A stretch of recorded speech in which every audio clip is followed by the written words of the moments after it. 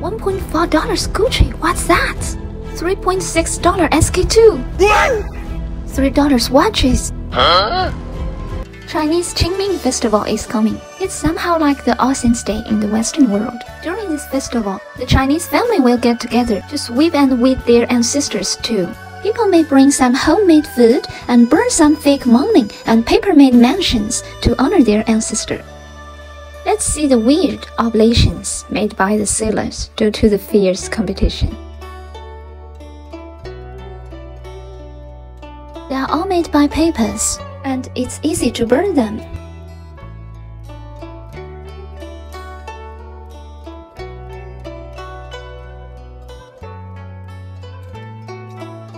Someone said, Are you guys sure that the ancestors know how to use iPad and iPhone? Do they know what are them? And some others said, Come on, guys, don't worry. Mr. Steve Jobs already went to teach them.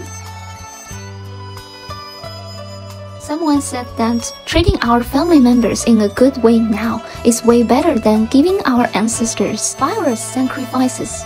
But I think the two ways are not contradictory. There are also many paper-made sacrifices for the pets. There may be a rescue or a liberation of the soul of their owner.